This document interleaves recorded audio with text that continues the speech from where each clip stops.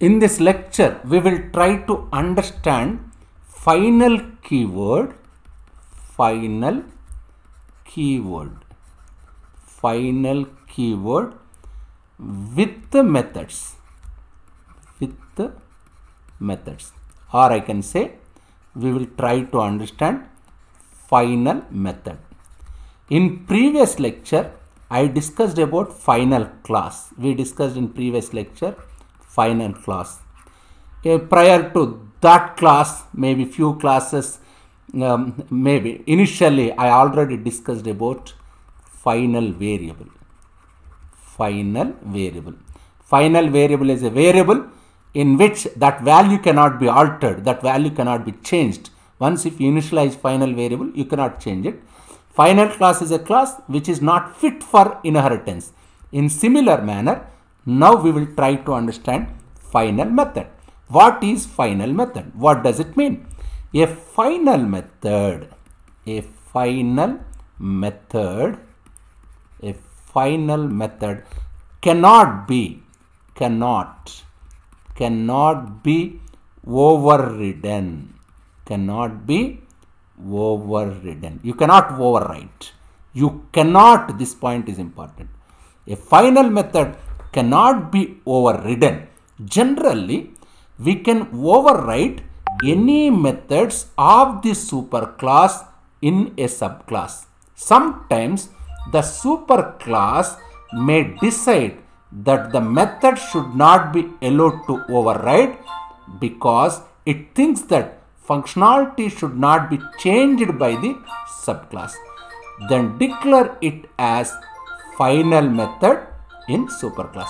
Anyway, instead of saying these many things, let me explain this with the help of simple program. Just see this program, what it says, class space class name is test, isn't it? This is my class name, class space class name is test. This is beginning of the class, this is ending of the class, isn't it? In this particular class, I have two methods. First one is void display, second one is void show. What is the difference between these two methods?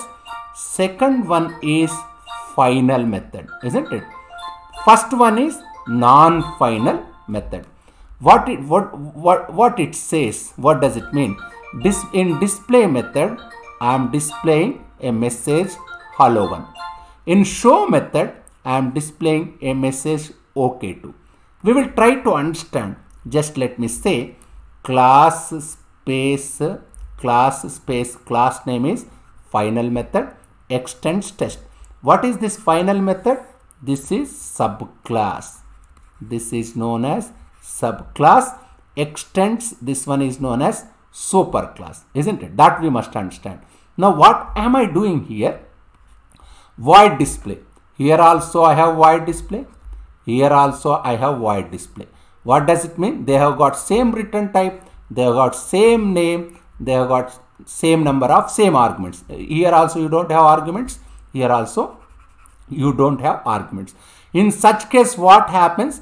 Your subclass method will override your superclass method. Therefore this particular method this particular method overrides this particular method.